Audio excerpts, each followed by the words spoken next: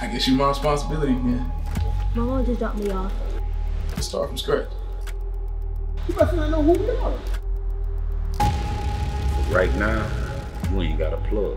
Where my niece at? I'm gonna keep my eyes on. Let's do it.